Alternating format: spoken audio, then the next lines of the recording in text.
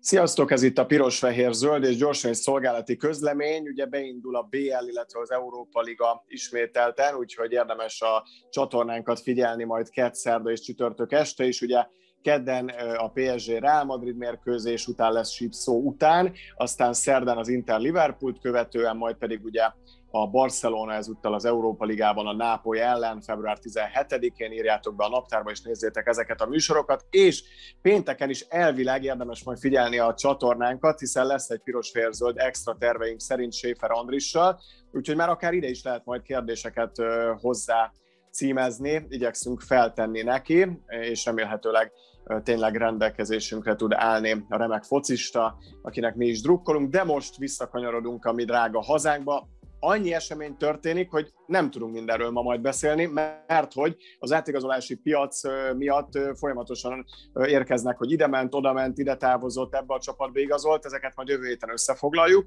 illetve azért jövő hétre egyéb témáink is vannak már tarsőben, de most inkább beszéljünk arról, hogy mi lesz ma.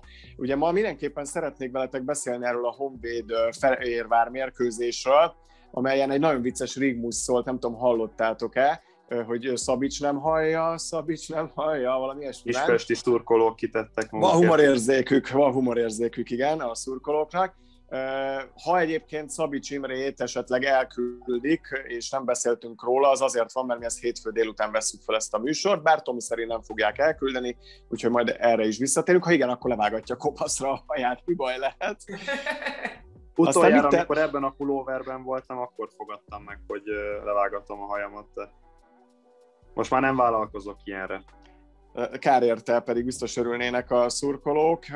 Hát a videóton vergődése mellett, amelyet Fiola is illetett különböző szavakkal, miről fogunk még beszélgetni. Hát például szeretnék bedobni nektek egy olyan témát, hogyha nyer mondjuk egy sereghajtó a listavezető ellen, akkor rögtön fölmerül a bunda kérdése, hogy erről mi a véleményetek illetve a Ferencváros rátalálta már arra az útra, amit igazán az zöldfér szurkolók látni szeretnének, ez is egy ilyen kicsit költői kérdés, szerintem még nem, ide-oda az a 13. másodperces gól, meg a magabiztos győzelem az ET ellen, és hát nem tudom még mit felejtettem ki, az viszont tudom, hogy kik, kik meg hogy szóltak be. Például a Rossi, képzeljétek el, hogy beszólt, hogy nagyon furcsa neki, hogy itt Magyarországon a szurkolók és az újságírók egy része mindig arról beszél, milyen gyenge a bajnokság színvonala, majd a legtöbben arról kérdeznek, hogy kit vagy kiket fog beívni a Magyar Ligában játszó futbalisták közül. Mi lehet, hogy már mondtuk, hogy kit érdemes behívni, de hogy nem gyenge a Magyar Liga színvonala, az biztos. Tehát Iván, ilyet te biztos, hogy nem mondtál. Hát ilyet én biztos, hogy nem mindent a helyén kell kezelni, de ebből a szempontból Márko Rosszinak az intelligencia azért kiviláglik, hogy marhára igaza van. Tehát tényleg, hogy imádjuk színi a magyar bajnokságot, de ugyanakkor meg imádjuk a magyar bajnokságot. Tehát ez, ez egy ilyen kéz a kézbe megy. Tőlünk azért nagy szilásokat nem fognak az emberek hallani, az biztos, hogy helyén kell kezelni, még egyszer mondom, tehát például a, a mostani mérkőzések közül az Újpest Kisvárda a színvonalában tényleg alacsony volt, de nehogy azt higgyük már, hogy más bajnokságban ilyen nem létezik, tehát ebből a szempontból lehet szívni néha-néha a magyar bajnokságot, de nézzük összességében egy, egy jó, egy, egy élvezhető liga is, mint magyar ember azért mégiscsak a miénk.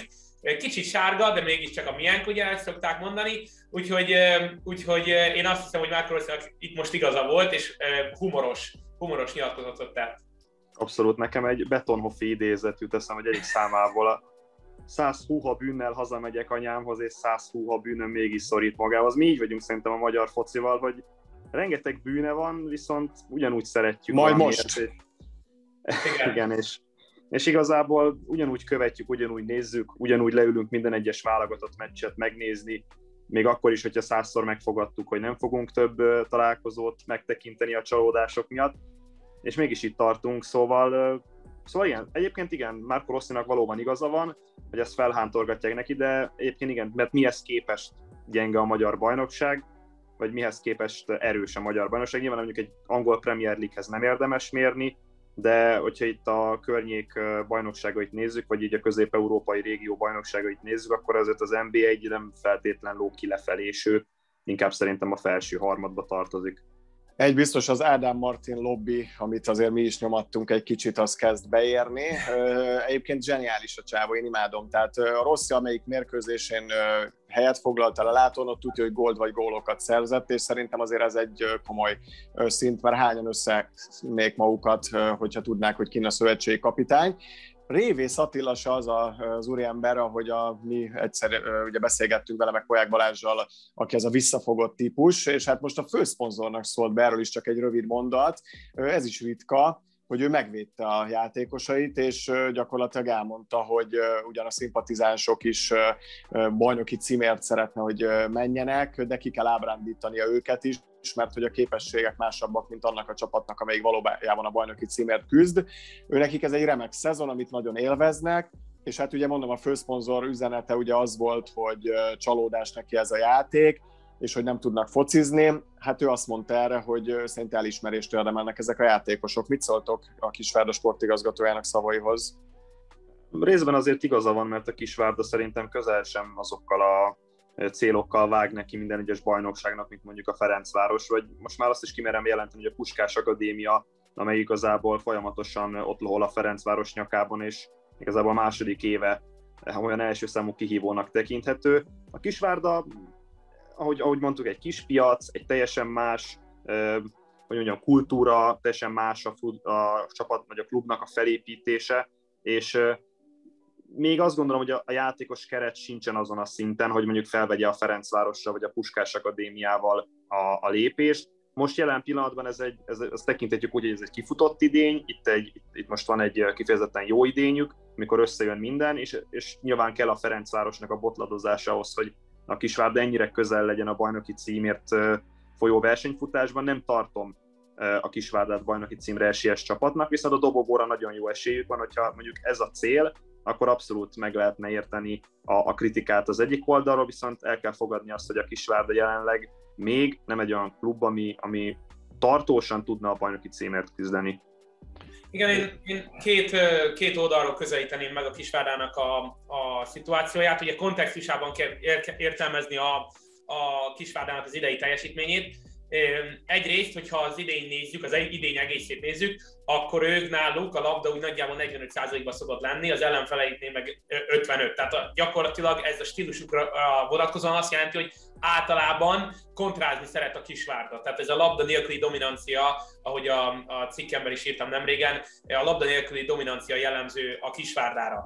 Na most ezen a mérkőzésen az Újpest belekényszerítette a kisvárdát abba, hogy legyen náluk a labda, amiről beszéltünk ugye már többször, hogy az ilyenkor nagyon kellemetlen szokott lenni. Ebből az jött, hogy az Újpestnek majdnem fél gólnyival több minőségi helyzete volt, mint a kisvárdának kicsit egyszerűbben fogalmazva, a Kisvárdának nagyon nem ízlett az, ahogy az Újpest fotballozott, az Újpest tudta dominálni a Kisvárdát, és hát valószínű ezért, ezért szólaltak fel a kritizáló hangok, miközben ugye Révész Attila erről azt mondja, hogy kialakítottunk egy játékstílust azért, hogy nem azért, hogy bajnokok legyünk, hanem azért, hogy a, a kiesést biztosan elkerüljük. Na most, amikor már az, a bajnokság elején vagyunk, tehát bajnoki címért megyünk, akkor az ellenfelek is alkalmazkodnak ehhez. És amikor alkalmazkodnak ehhez, rákényszerítenek bennünket arra, hogy labdával kell játszani, ahhoz meg nincsenek meg a játékosaink, mert egészen más kvalitású, meg minőségi játékosok kellenek. Tehát én értem azt, amit Révész Attila mond, és gyakorlatilag egyetértek vele. Az más kérdés nyilván sportigazgatóként hogy tudja, hogy ez milyen hatással lesz a szponzorokra, de de én azt gondolom, hogy, hogy, hogy futball szakmai szempontból érthető az, hogy ilyen meccseken a Kisvárda szenved. És akkor, ha már beszólások, akkor Muszbek Mihály ugyan a Digi Sport vendégeként nem beszólt, hanem csak egy bérelemzésbe fogott az NB1-es fizetések kapcsán, de ugye át is küldtem nektek ebből a lényeget, hogyha mondjuk 28 fős keretlétszámmal számolunk, akkor már közel 4 millió forint egy NB1-es focista átlagfizetése a közgazdás szerint, illetve ugye a 2, nem bocsánat, elugrott, az NB1-ben játszó labdarúgó általában bő bruttó 2,9 milliót keresett már ugye a tavalyi idényben is. Mit szóltok ezekhez a fizetésekhez, és egyáltalán miért kell ezeket titokban tartani? Én továbbra is ezt nem teljesen értem. Igen, ez, ez egy nagyon jó gondolat volt tőled, hogy miért kell titkolni, és, és nekem ugyanez jut eszembe, amikor csak annyit osztanak meg egy játékos átigazolás, egy átigazolási díj ellenében, igazolt mondjuk Paksról Gyirmótra, vagy fordítva teljesen mindegy.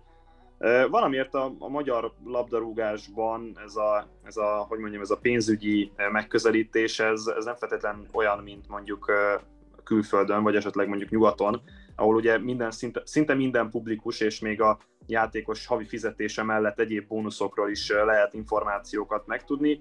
Magyarországon ez nincs így, nekem vannak tippéim, hogy, hogy miért nem, bár szerintem azt, azt nem ebben az adásban kellene elemeznem.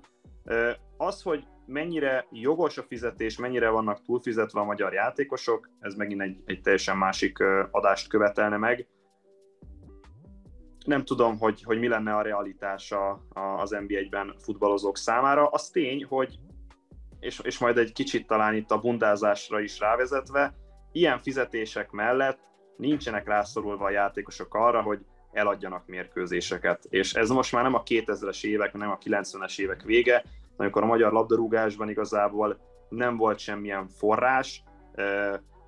Egy, egy Ferencváros képes volt, vagy egy Ferencvárost kizártak igazából az NB1-ből a nem megfelelő anyagi helyzet miatt, a játékosok nem kaptak fizetést hónapokig, tehát azért most már nem ezt a kort éljük, és, és tényleg ez, ezért furcsa mondjuk egy Puskás Akadémia MTK meccsen itt a, itt a bundát hallani, meg azt, mondjuk egy válogatott mérkőzésen felmerül még ez, ezt, ezt azért felháborítónak tartom.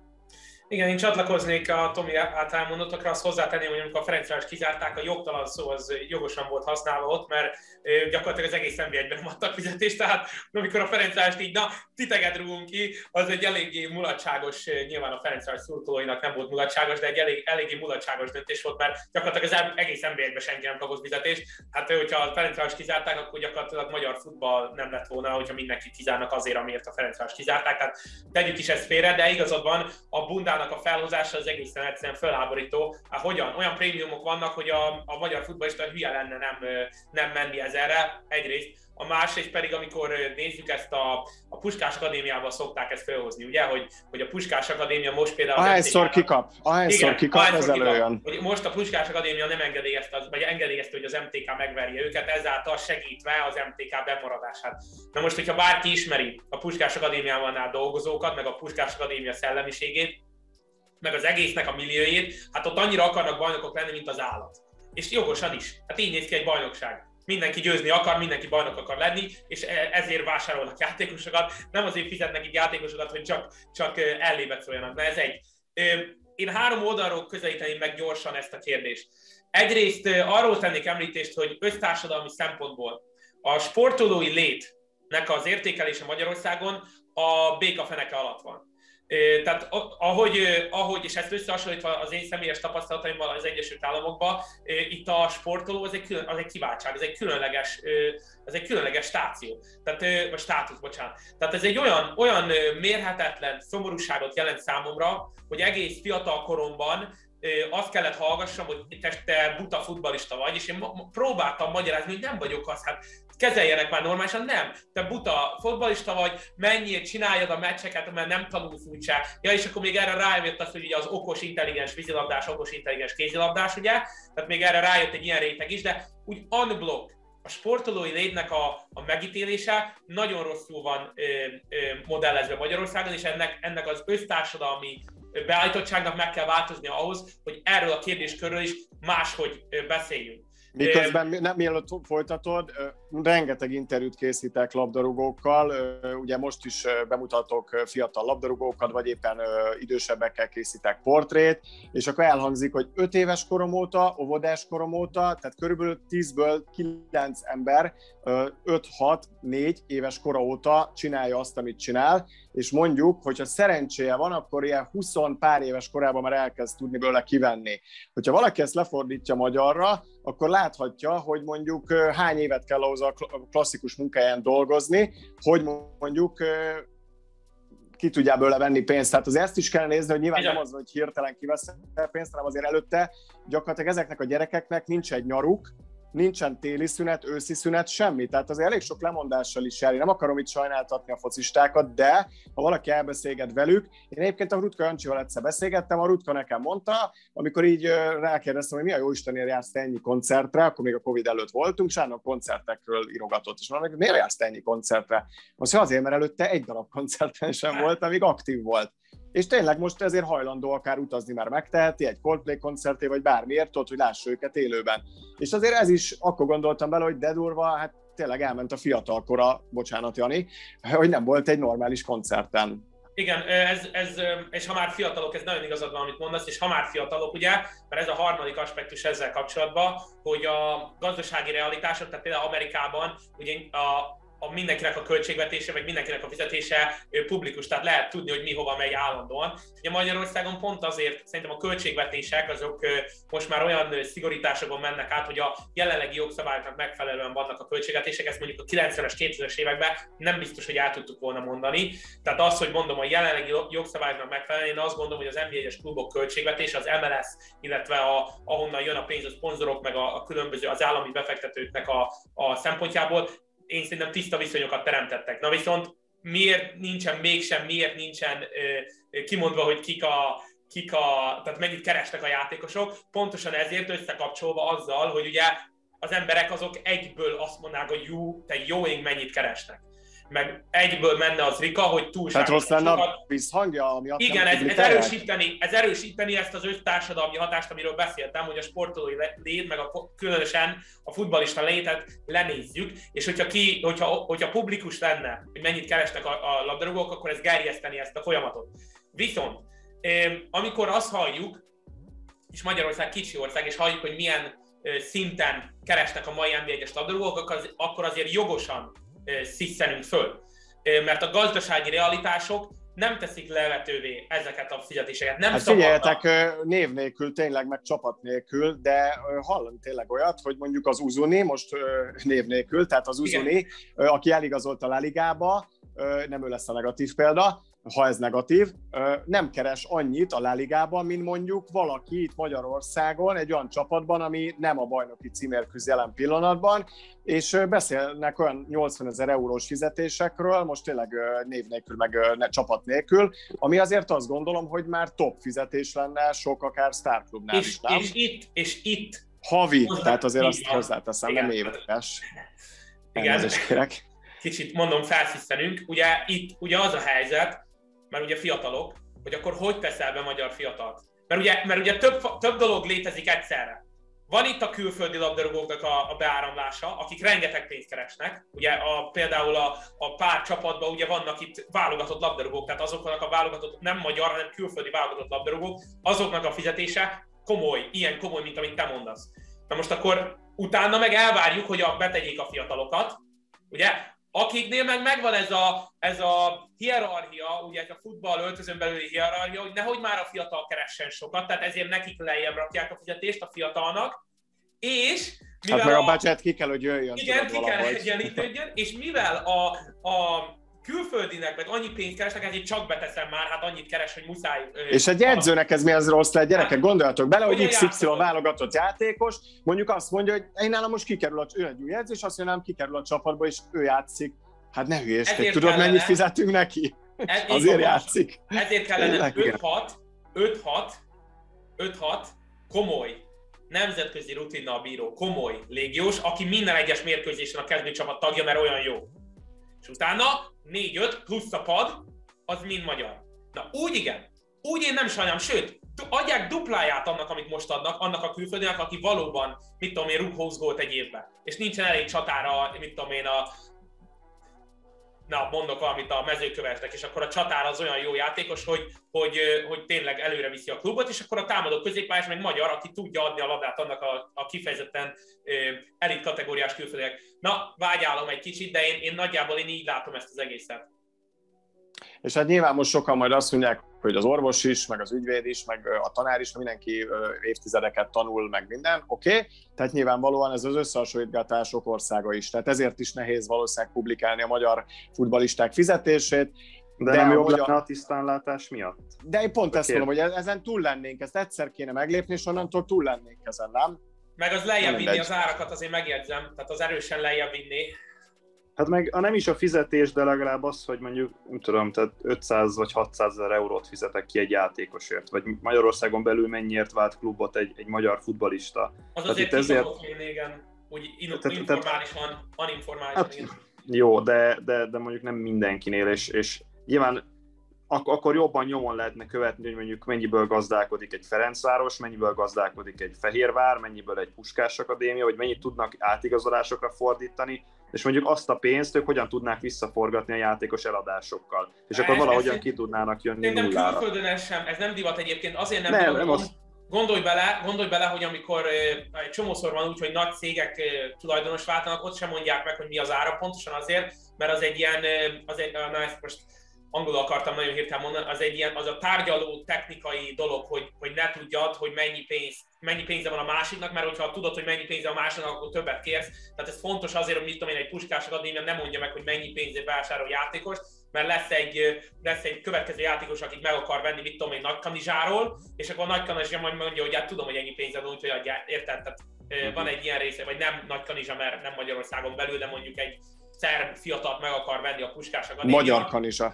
Igen, magyar kanizsa, igen. Csak hogy ne kell javítani.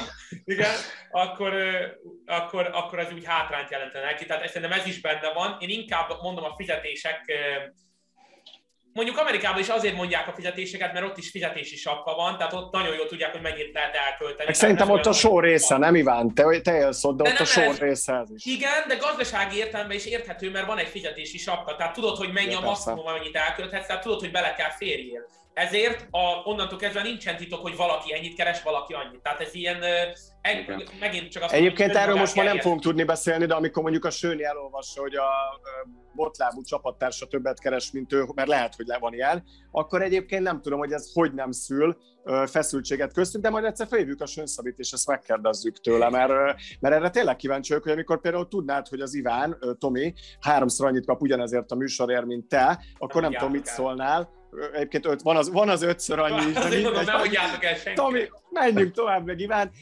Hülyeséget félretéve gyerekek, hát zajlottak az események, úgyhogy tényleg csapjunk bele. A Honvéd Fehérvár találkozóról annyit szeretnék mondani, miután azért az előző témát leszeretnénk azzal zárni, hogy nem gondoljuk, hogyha az MTK éppen jó napot fog ki a puskás rosszat, akkor egyből bundáról kellene beszélni, hogy hogy, hogy, hogy hát a Fiol Attila kiállt, azért aki a válogatottnak ugye az a védője, aki egy gyakorlatilag nyáron még az ország kedvence volt, tehát a szavát azt gondolom, hogy sokan figyelik, és azt mondja, hogy szarul játszottunk, ez most idézet volt. Mindenki keresse magát van a hibát, aztán talán jövő héten mindenki úgy megy ki a pályára, hogy győzni akar, mert úgy néz ki, hogy sokan nem így tesznek, tehát egyrésztről beszólt a csapattársaknak. Három hete keressük a hibát, remélem, hogy a következő időszakban nem ezt a videóton fogják látni, mert ez egyszerűen katasztrófa, szégyen, ahogy a csapat teljesít, és még egy mondatot szeretnék elolvasni, hogy azt mondja valahol benne, hogy ez nem az edző hibája, tulajdonképpen, hogy így égetik saját magukat és a csapatot. Ja, igen, itt van, ez nem edzőkérdés, ez a játékosokon múlik. És gyerekek, esküszöm, az ugrott be, hogy hasonló a helyzet, mint Debrecenben. Ott is nagyon szerette szerintem a csapat, a Huszti Szabit. Szerintem a Dzsuzsék egyáltalán nem akarták, hogy a Huszti Szabi távozzon a csapattól, és úgy tűnik, hogy Szabi Csimrét is a Fiola nyilatkozatából az veszem ki, hogy kedvelik, szeretik, és nem feltétlenül azt gondolják, hogy ez lesz majd a megoldás. Tehát kvázi ez a Fiola nyilatkozat ez megnehezíti olyan szempontból a klubvezetésnek is a dolgát, hogyha esetleg el akarták küldeni Szabics Imrét, akkor mit mondanak a Szabicsnak, hogy mondják a játékosok, hogy nem te vagy a hibás, de menjél? Tehát nem, nagyon nehéz a helyzet, nem?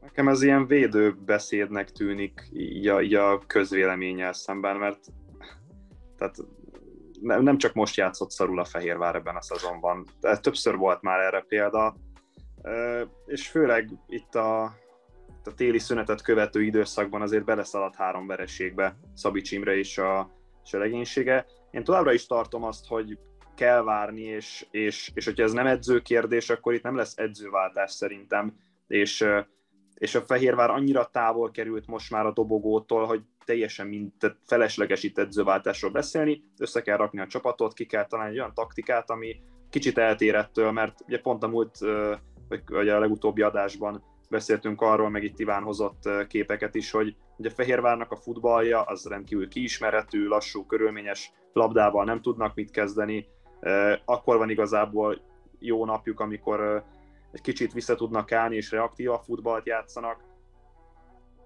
Nem, nem tudom, tehát nem, nem feltétlenül Szabi Csimrében kell keresni a hibát, persze benne is lehet keresni, de az, hogy egy olyan csapat van, ahol, ahol a magyar válogatott egyik legjobb játékosa Loik Négó játszik, meg, meg még olyan légiósok, mint Kenan Kodró, vagy, vagy Makarenko, vagy Heister, vagy itt lehetne hozni Lennyevet, aki ugye a, a télen érkezett, és akkor még Petriákról nem is beszéltünk, vagy egy Dárdai Palkot, fel, lehet, fel lehetne sorolni annyi játékos, mivel nem is azt mondom, a Ferencváros szintjén van a Fehérvár a játékos keret összetétel alapján, de azért, de azért a második helyen ott van a, a, a, a szakadékban.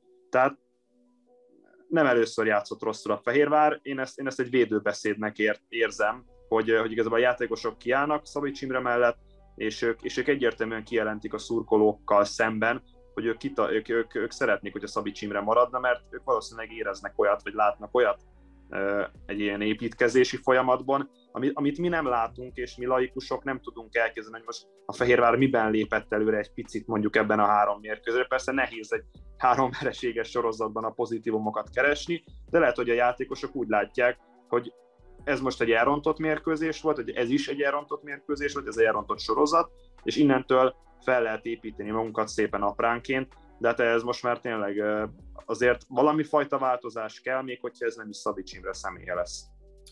Szerintem az lesz, de most Iván fog válaszolni. Szerintem azért az lesz, mert nyilván könnyebb egy edzőt elküldeni, mint most így szezon közben a játékosokkal mit tudsz kezdeni, leülsz egyenként, megbeszéled velük, illetve hát azért nyilván érződik a, nem tudom mennyire számít a klubvezetésnek a szurkolók véleménye, de teljes Szabics ellenes a hangulat, ugye azt hallhattuk a mostani mérkőzésen is a zaj mikrofonba beszűrődve, bár az Imre egyébként profint csinálja, amit csinál, mert vagy azt mondja, mondja, hogy nem hallja, vagy azt mondja, hogy bízik magában, és nem lett ő itt rosszabb ember, vagy rosszabb edző, és kitarta az elvei mellett. Úgyhogy egyébként vérprofi, amit csinál, bár iszonyatos stressz alatt lehet. És érdekes egyébként, hogy őt kezdték ki, nem a Juhászról, itt nem a Torgáles annyit, hanem őt egy személyben, Szabics Imrét.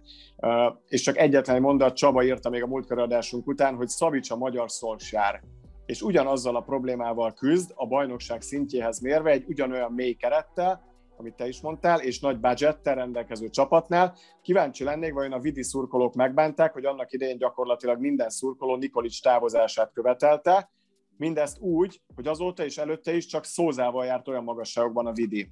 Mit szólsz ehhez, Iván? Hát ez tűpontos, ugye Márko Nikolicsnak a személyét, ugye tudjuk, hogy, hogy később bajnokok ligája csoportkörben szerepelt a Lokomotív Moszkva, tehát azért egy nagyon komoly edző neki az elküldése nyilván egy kis türelmetlenségből fakadt meg abból, hogy mi nem szeretünk ilyen 5-6 éveket adni egy edzőnek, ha csak nem Garami József a neve annak az edzőnek. Sőt, aki kiesik a csapatával, és még akkor is maradt, tehát ott egy komoly, komoly példamutatás történt annó az MTK-nál, ilyen máshol nem történik.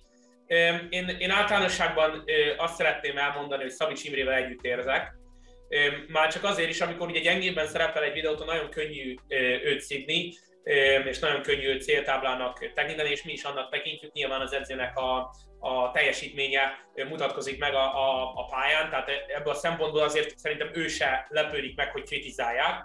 Az egy egészen másik kérdés, hogy én szerintem számomra személy szerint egy kicsit ijesztő Szabics Imrének a, a karrierje eddig, mert ugye egy nagy vágyá, vágyakkal, komoly tapasztalattal, kar, játékos karrierrel úgy érkezett meg Magyarországra, hogy megmutatja, hogy lehet ezt másként is. És amikor ez besül, akkor ez nem történik meg, akkor nekem van az a gyanúm, és hát elnézést kérek, ha valakit megbántok, nekem van az a gyanúm, hogy ez a magyar közegnek egy elég erős behatása is. Tehát azért Szabics Imrét én azt gondolom, hogy, hogy ezek után ő, ő nem lenne helyes neki Magyarországon maradni, tehát menjen el máshova. Menjen el máshova, mert én... Én ugyanezt gondolom a Huszti Szabiról is egyébként ha, bevallom. Azért mondtam a párhuzamot, mert hogy, mert hogy nem hiszem el, hogy ez a két ember nem kellene a magyar focinak, Pontosan. nem hiszem el, mert a Szabicsot területesebben ismerem, de a Husztit azért jobban ismerem, és nem tudom elképzelni, mert, hogy, hogy, hogy, hogy pont ők nem férnek bele. Mind a kettő komoly ember. Mind a kettő de, látod, de látod, hogy egyikük se tudta egyből úgymond bebizonyítani, nem tudom, hogy mi az oka egyébként. Nézd, nézd én azt tudom elmondani neked, hogy Szabics Imrének gyakorlatilag fe, fejlődő képes Szabics Imre, fejlődnie kell. Jelen pillanatban beletörik a bicskája az ellenfél térfelén való játékba. Ez a mostani meccsen is megmutatkozott, bár megjegyzem, hogy a Honvéd egyébként kicsit bátrabban jött ki, mint ahogy, mint ahogy számítani lehetett rá, nem állt vissza. Kontrázni próbált a Honvéd, kontrákból nyerte meg a meccset, de mégiscsak ilyen 50-50 százalék volt a, kezdeményezői ö, ö, arány. Tehát a, a videótonnak ö, így is volt egy rengeteg olyan momentuma, ami a labda, labdás, ö, tehát a labda birtokló fázisban ö, gyengeségeket mutatott. Ugye én most készítettem két képet, mind a két kép ugyanarról, ugyanarról szól. Ö, az első képen gyakorlatilag azt látjuk, hogy ö, a videótonnál van a labda, megint csak az van, hogy az ellenfél térfelére érkeznek, a Honvéd, a Honvédnak a, a védekezése az felállt, és ugye rengeteg terület van a, a, a Honvéd védelmi vonalai között, és eleve az, a területek elosztása gyenge és hatástalan a videótontól, másrészt pedig megint csak a labdástól túl távol vannak azok a játékosok, akik esetleg bekaphatták a labdát. Ezt már többször elmondtam, de érdemes újra megérteni. Ahhoz, hogy képesek legyenek jól visszatámadni, ergo a kontratámadásokat megállítani. Még egyszer mondom, a Honvéd kontrákkal nyerte meg a meccset, tehát ez, ez, ez eszenciális lett volna a videótonak, hogy megállítsák a kontrákat. Ahhoz az kellett volna, hogy rövideket passzoljanak. Azért passzolunk rövideket, mert úgy, belegondoljuk, a passz az egy ilyen, az a, az a vonal, az a passzsáv, az gyakorlatilag azt segíti előre, hogy a játékosok egymáshoz közel maradjanak. Ha rövid passzokkal megyünk helyről helyre a pálya különböző területein, akkor egyben maradunk. Ha egyben maradunk, könnyű visszaszerezni a labdát, ha könnyű visszaszerezni a labdát, akkor nem kontráznak meg minket. A második képen is ugyanez látható, gyak, abból egyébként egy kontra mind a kettő szituációt követően, ami a képeken látható, mind a két szituációban egyébként homemade kontra következett, mind a két képen láthatjuk is a másodikon is, hogy következik egy passz a jobb szélre, és a labdavesztés pillanatában gyakorlatilag senki nincsen olyan távolságban videóton részről a labdához, ami is elősegíteni azt, hogy, hogy esetleg egy fauta, esetleg egy, egy párharci alakítása, esetleg egy kirúgják tacsra a labdát, valami ilyesmi történjen. Nem sikerült, kontra következett a Honvédtól, és hát e, erről még akkor is érdemes említést tenni, hogyha ezen a meccsen egyébként a videóton 50-50%-ban volt nálunk a labda, tehát egy kicsit visszább helyezkedett, Szabics Imre egy kicsit visszább szedte a, a csapatát, pontosan azért, hogy több kontrajátékot tudjon kiarcolni a, a Honvéd ellen. Na most másik része ennek a dolognak, az Deboj Saignyelics, aki, hát hogyha elmondtam, hogy Szabics Imre és Huszti Szabolcs is komoly ember, komoly edző, hát Vignevics is komoly ember, komoly edző. Tehát azért az, az, az a lózunk Magyarországon, hogy idő kell, amire mondom, hogy, hogy Szabics Imrének is több időt kellene adni. Kicsit lózunk szaga van annak is, bár vallom, hogy Szabics Imrének pont több időt kellene adni, mert fiatal edző, képes fejlődni. De a Vignevics meg azt is megmutatta, hogy vannak olyan edzők, akik másfél hét alatt egyből saját képükre formálják a, a csapatot.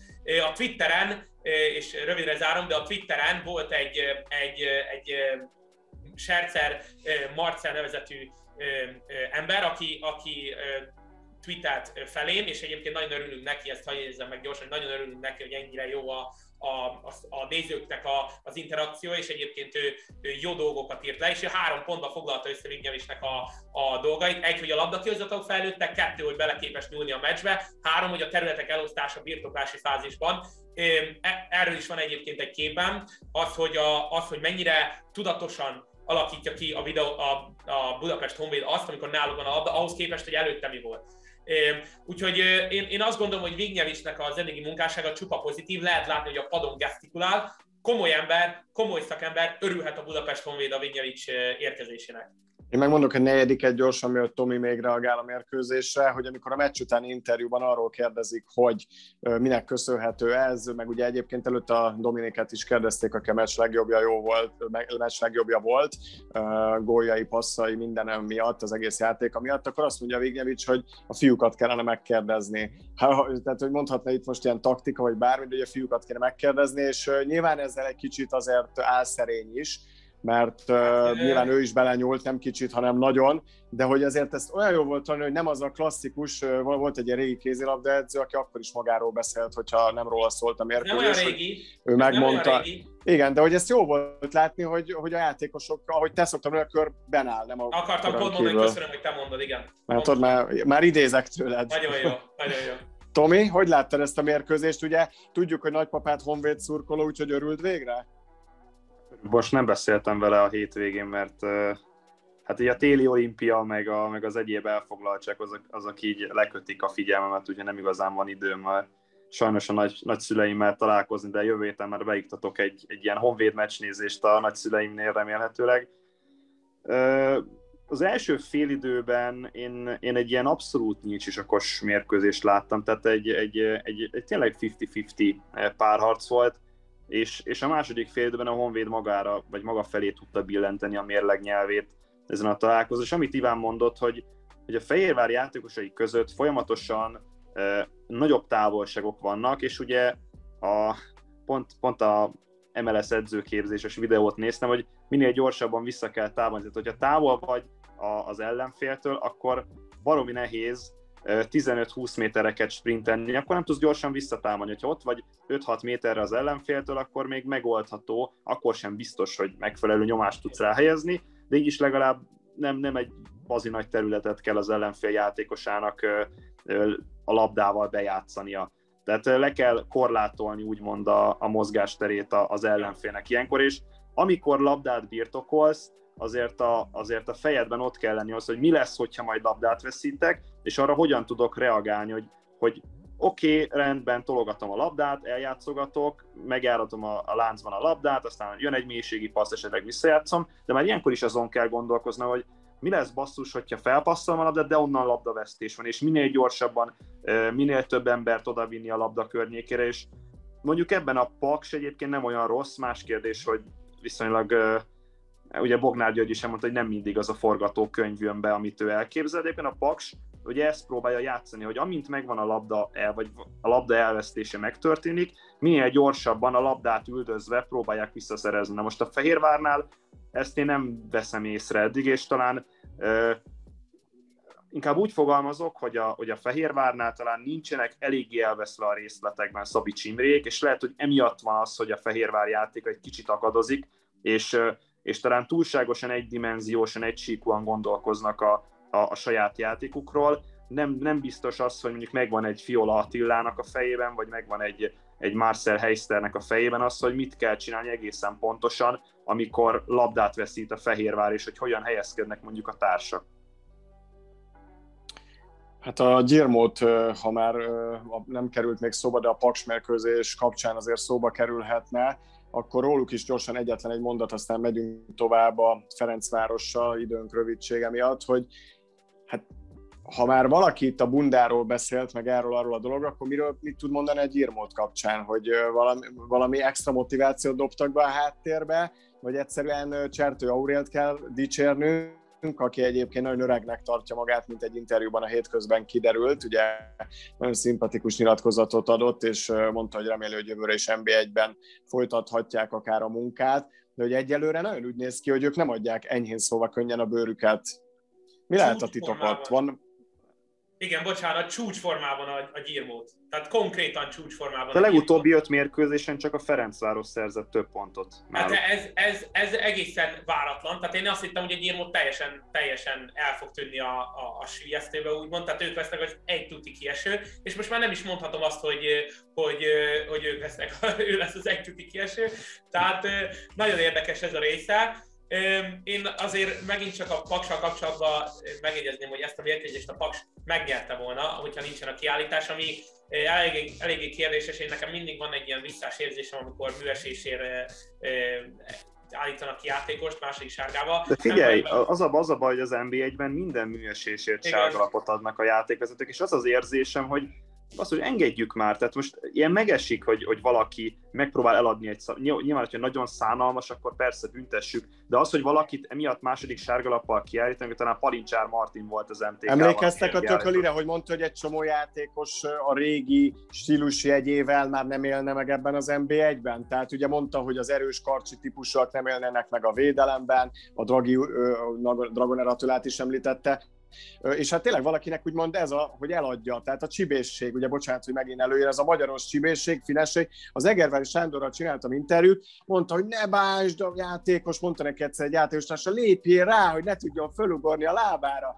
Hát ezeket ugye most már nyilván örülünk, hogy úgymond felülírjuk, kiszúrja a var, azt, ami alattomos vagy sumi, su, sumák, de amit te is mondasz, hogyha valaki csak el akar adni egy olyan szituációt, ami benne van úgymond egy focista vérében, hogy kiarcoljon egy szabadrugást, egy sárgalapot, etc., akkor nem, kicsit én is azt érzem, hogy durván van büntetve, vagy ezt rosszul látjuk? Ez megint csak arról van szó, ez megint csak arról van szó, hogy ugye erre mondja a játékos, hogy a szabálykönyv szerint ez, na, most ez egy. De van egy, ugye van a lelkülete a, a mérkőzésnek, és mondjuk ha megnézzük a Puskás Akadémián történteket, ahol Baluca teljesen, teljesen alattomosan, úgy téve, minthogyha, minthogyha el akart, ki, ki, ki, akarta volna kerülni, és így föltette a kezét, és így akarta kikerülni az előtte lévét, és közben ugye jól szájba verte a, a, a, a játékost, az ellenfelét, na az egy totál pirosat és milyen jó, hogy ott volt a VR, hogy... hogy milyen jó, igen, tehát ez a pozitív oldal igazad na de. Na de ott van Winnekernek a, a kiállítása, aki, ez, ez kontextusban érdemes nézni, tehát ez egy, egy olyan kiállítás volt, amit nem vagyok benne biztos, hogy, hogy annyira egyértelmű,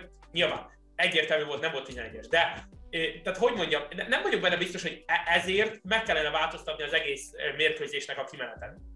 A másik meg, hogy ugye az első sárgalapját kezdezésé kapta, tehát most úgy állítottak ki egy játékost, hogy gyakorlatilag senkit nem bántott a, a, a találkozón, tehát ez a, a, a, a játék szellemiségével én érzek ellentétet. Na most még egyszer mondom, a bíró azt mondaná erre, hogyha itt ülne velünk megboldogult szerencsétlen Pól Sándor, Isten nyugasztalja, itt ülne mondaná, hogy hát a, a, a szabálykönyv szerint ez bizony, ez bizony mind a kettő sárga. Hát igen, csak éppen van itt egy szellemiség, na mindegy, ebben nem megyek bele. Én, én nem, nem, nem tetszett az, hogy a, hogy a mérkőzésbe így nyúltak bele, azért se, mert a Paks mondom, szerintem megnyerte volna a találkozót.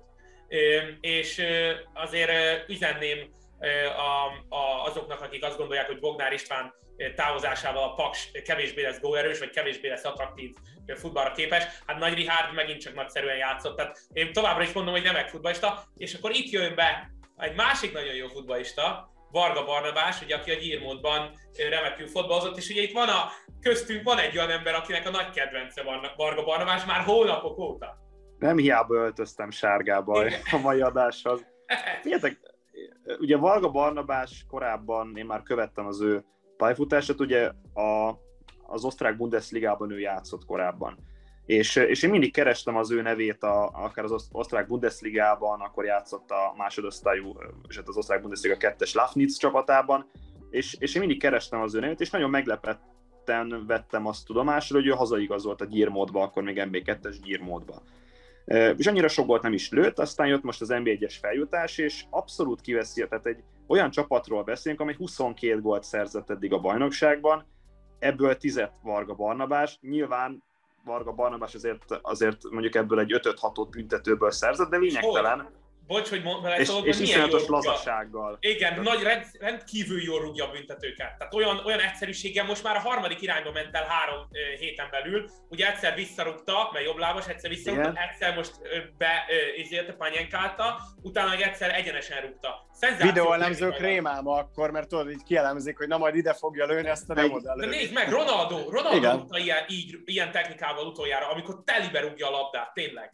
Igen, és ugye nyilván ez egy, tehát van egy metodikája az, aki büntetőt rúg, én, én nagyon sok büntetőt rúgtam a, a megyei csapataimban, és én mindig azt, vagy hát a korábbi csapataimban a, a megyében, én, én mindig egy, egy bizonyos metodika alapján rúgtam. Nekem nagyon tetszett Mário Balotelli technikája, a megtorpanás az utolsó lépés előtt. De én mindig megtorpantam, de utána ugyanoda rúgtam egyfolytában, visszahúztam ballábbal a bal alsó sarokba. Na most nyilván egy, egy, a, a mai futballban azért nagyon gyorsan kiismerhető, főleg az élvonalbeli labdarúgásban egy, egy játékosnak a, az, hogy hova rúgja a büntetőt. Ugye például Jorginho, vagy Bruno Fernandes ebben, ebben ugye most újított, hogy van ez a szökkenés a büntetőrugás előtt, és akkor megvárja az utolsó pillanatig, hogy a kapus mit fog csinálni. Aztán, aztán jön egy Jan Sommer, aki meg bemutatja, hogy elmegyek az egyik irányba, aztán visszavetődök a másikba, és Zsorzsinyó mondjuk emiatt, vagy Zsorzsinyónak köszönhetően pótselejtezőre kényszerülnek az olaszok a, a világbajnokság szempontjából. De visszatérve Varga Barnabásra,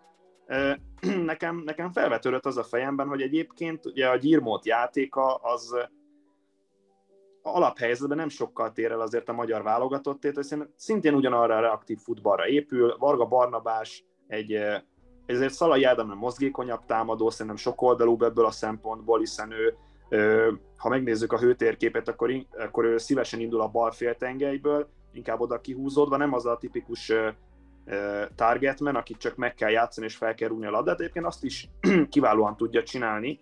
És itt Ádám Martinnal egy összehasonlítást készítettünk Ivánnal, és a Iván segítségével csináltunk egy ilyen összehasonlítást. Nagyjából ugyanannyi labdát szereznek meccsenként, 90 percre leveszi, levetítve. Ádám Martin 81%-ban ezt az ellenfél térfelén teszi, míg Varga Barnabás 44%-ban teszi az ellenfél térfelén. Hát nem tudom, hogy Szalai Ádámnak milyen mutatói vannak mondjuk a magyar válogatottban, de szerintem inkább Varga Barnabás számai közé Igen. Vagy felé közelít az ő, ő mutatója, nem Ádám Martiné felé.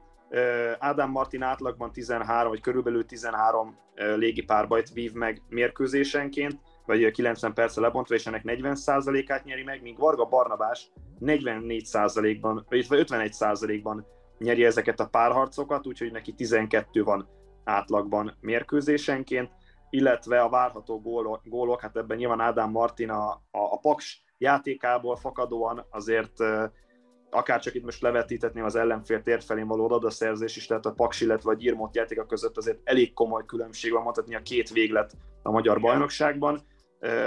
Ádám Martinnak 0,85-ös XG-je van, ő hozza az egy gólos átlagot, tehát ő túllövi, viszont Varga Barnabás 0,64-es XG-je mindössze két századdal marad el a 90 perccel elvetített gólszerzéseiről, úgyhogy annyira nincsen, annyira nem rosszak a számai Varga Barnabásnak. Nem azt mondom, hogy válogatottba vele azonnal, és, és, és Szalai Ádám megfelelő pótlás, vagy pótlékát megtaláljuk Varga Barnabás személyében, de azért Márko Rossi helyében és félszemmel azért Na, na, na, na, na, ezt hagyjátok abba, ezt az elején ja, bocsánat, nem, elnézést. Nem. Márko Rossi, nem. nem Márko Rossi, hanem hogy mondjam akkor... Egy, a Lackó egy Zsoltnak azért, mond, a Buksi nézed rá, Buksi nézed azért, rá, érted? Azért, azért kitekintenék, amikor a, megnézem a Paks Gyirmót mérkőzést, akkor nem csak Ádám Martinra koncentráltam volna. Én inkább biztos, azt mondanám, biztos egyébként őt is figyelte Rossi Mester. Egyébként ott volt ezen a találkozón is ez igen, a durva. Inkább azt mondanám Varga Barnabás egyébként, hogy ne, ne, ha nem is csak a magyar válogatott, de mondjuk mi lenne, hogyha a Debrecen nem a külföldit igazolna le? Vagy mi lenne a Honvéd nem szerb csatára lenne, anélkül, hogy Lukic mondjuk épp kiemelkedő játékos. Igen, én a Paksban is el tudnám képzelni simán. Hol? Pakson. Ja persze, hát a Pakson minden magyar tudok képzelni, tehát az nem probléma. Sőt, most ugye mai hír, hogy Kocsis Bence ugye oda megy, aki, aki egyébként egy lendületes jó futballista, nagyszerűen be fog válni Pakson is. Úgyhogy, Gyerekek, igen. alig van már időnk, úgyhogy megyünk tovább a Ferencvárossal, de most tudatosan kevesebbet beszélünk róluk, na nem azért, mert nyertek, hanem azért, mert Iván is mondta, hogy még egy kicsit azért szeretne kivárni, mielőtt egy ilyen komolyabb mérleget von. Ettől függetlenül, ami, hogyha valaki Ferencvárosi örömre adhatok ott, hogy vezetik a tabellát, ami örömre adhatok ott, hogy végre gólokat tudtak lőni, ugye ezzel volt leginkább a hiba, ami uh, nyilván biztató az, az első mondjuk itt 30 percben mutatott dominancia, mert azért ott az, az bekapcsolták rendesen a uh, gázpedált, a sebességet, de mi az, ami nektek még szembetűnő volt ezen a találkozón? Hogy é, láttátok? Mondja nyugodtan, Iván. Oké, okay. a Zalaegerszegről mondanám azt, hogy én Warner Robertet nem sokat dicsértem, de azért dicsérném, mert bátran játszik az Zalaegerszeg.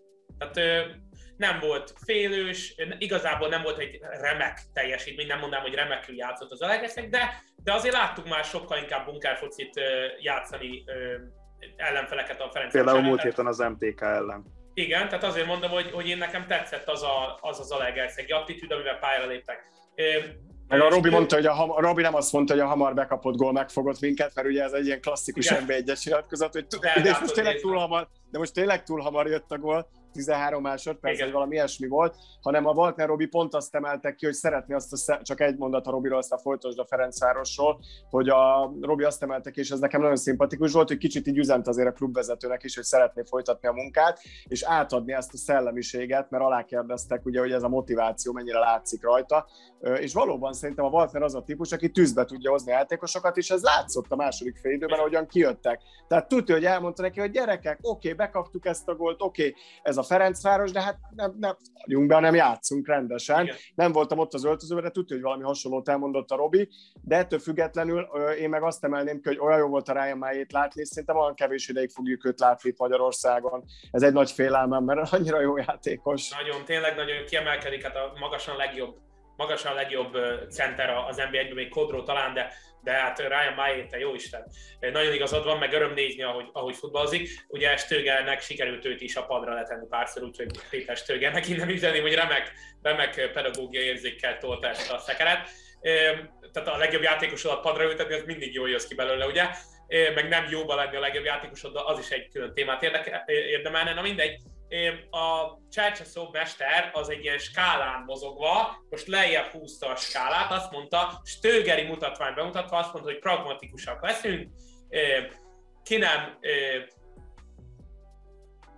tolja le a, a, azt, hogy hányszor lesz nálunk a labda, meg mi hogy fogjuk csinálni, hogy dominálni fogunk, stb. stb. stb. Idegenbe elmegyünk és nyerni fogunk, és rendbe tette a védekezést, a Paks elleni katasztrofális védekezésből egy szilárdabb védekezést hozott. Igaz, nem alakítottak ki annyi a helyzetet, igaz, nem volt annyira attraktív a stílus, de mondom, pragmatikusabb felé húzta a skálát, és ezzel egy ilyen sima győzelmet aratott a Ferencváros. Én mondom, még, még nagyon az elején vagyunk, én ebbe az irányba látom elmozdulni a Ferencvárost, továbbra is ezt mondom, hogy pragmatikus, pragmatikus, pragmatikus, nem látványos, nem attraktív, eredményt hozó. Na most még mielőtt bárki mondja, mert most már tényleg kezdem mondni, hogy a Szerhi Rebrovnál ez volt, és ez sikerült. Szerhi Rebrovnál nem ez volt, tehát most már tényleg több egyére mondom, mert Szerhi Rebrovnál nem ez volt, ott attraktív futball volt, csak másféle stílusban, mint amit az emberek gondolnak attraktívnak. Rendkívül jó futballt mutatott be annó a Ferencváros. Csácseszótól ezt nem várom. Én azt várom, mondom, hogy nagyon biztos vélekezés, agresszív kontrajáték, alkalomattán letámadás, alkalomattán visszazárás, egy ilyen pragmatikus, már-már, már-már lecsupaszított játékstílus, ami egyébként a magyar bajnoki címhez éppen elegendő lesz. Egyébként szerintem Csercseszov irányítás alatt most játszott talán legjobban a Ferencváros, vagy most nézett ki a legjobban a Ferencváros. Hát az Alegerszeg mindig felszívja magát ezekre a mérkőzésekre, mert emlékezzetek vissza, amikor először találkozott a két csapat, úgy neki rontottak a Fradinak, hogy, hogy, hogy ott, ott nagyon gyorsan két gólos előnybe kerültek, és és, és a végül szerencsével, de meg tudták nyerni azt a mérkőzést. Ugye az volt az a találkozó, ami igazából megmentette Waltner Robert állását ott a Grupa arénában. Ja, olvastam ilyet is, Tomi, hogy igen, azért, mert a Ferencváros pályán az Alegerszeg bravúros győzelmet aratott, ezért ők jobbnak látták, hogyha most ez, ez meg akkor így visszaadják, és akkor annyira írt, imádtam, volt egy kommentel, aki írta, hogy gyerekek, attól, hogy a két szurkolótábor esetleg jóban van a pályán, attól még ugyanúgy megy a csata, meg hát ugyanúgy bajnok. Bunda volt ott is. Ott is a Ferencváros, meg igen, meg az Ete is nyilván a hazai pályán, ennyi ember, amikor kimegy, akkor nem azt mondja, hogy jó, hát akkor engedjük át nekik ezt a meccset. Tehát, hogy ez az attitűd, aki valaha már járt futbalisták között öltözőben, az pontosan tudja, ez nincs. Tehát ez, ezt felejtsük már el ezeket a dolgokat. És nem akarunk mit népművelni, ez a bundás dolog se ezért került be. De azért vannak a dolgok, ami mellett nem akarunk viszont elmenni szó nélkül, és folytasd, bocsánat. Igazából rövidre akartam fogni az idő szűke miatt is, de, de tényleg most Csecseszov irányítás alatt most játszott a legjobban a Ferencváros, és, és tényleg a helyzetek, amiket ki tudtak alakítani, főleg az első félidőben, meg a, meg a második félidő elején, számomra azok már, már a Rebrobi időt idézték a, a támadások kinézete alapján. Hát kíváncsi leszek, majd hogyha az MTK megveri a Fradit, akkor az mekkora bunda lesz, mert hogy ők játszanak majd a következő fordulóban együtt, de erről majd már a következő piros-fehér-zöldben tudunk beszélgetni. Egy biztos, hogy most sok Ferencvárosi, ahogy ki is írta a Facebook oldalára a klub, hogy na mi van Fradisták, milyen ránézni a tabellára, úgy érzi, hogy helyreállt a világ rendje, de azért ez a rend, ez még azt gondolom, hogy nem egy ilyen magabiztos történet, tehát itt azért még kapkodnia kell magát a fiúknak, és erre leszünk mi kíváncsi talán csak ettől lesz jó a piros férzöld hétről hétre, hogy nyomás alatt hogy tud teljesíteni ez a Csercseszov gárda. Illetve hát nagyon kíváncsiak vagyunk arra is, hogy a kieső jelöltek, aki most ugye nem éppen a Gyirmót, hanem az Újpest, az hogyan indul el, illetve akár a Debrecen ismerők most nagyon gyalázatosan kikaptak, Andris, ugye? Pont erre, pont erre gondoltam, amikor készítem erre az adásra, hogy ugye ez az első évadunk, a piros fehér első évadja, hogy mi elé nézzünk itt most a tavasszal. Tehát azok az utolsó fordulók, ott tudja, hogy az, hogy, hát majdnem élő bejelentkezést kell majd csinálni. Az Élet-halálharc, körkapcsolás. De tényleg, mert annyira szenzációs lesz a bajnokság vége tényleg. Szerencsésnek mondja, mondhatjuk magunkat szerintem, hogy részesei lehetünk. Na hát ennél jobb végszót én sem tudnék, úgyhogy sziasztok és tartsatok velünk. Legközelebb is iratkozzatok fel YouTube csatornánkra, viszont az nagyon fontos, hogy figyeljétek a Facebook oldalát is a Piros Zöldnek, mert hogyha a Schäfer Andrissal összejön, tehát ez a tervezett interjú, akkor ott is jelezni fogjuk, illetve nézzétek a Shift szó után műsorait, hiszen indul a BL, valamint akarom mondani, hogy folytatódik a Bajnokok Ligája, és folytatódik az Európa Liga. Sziasztok! Sziasztok! Sziasztok.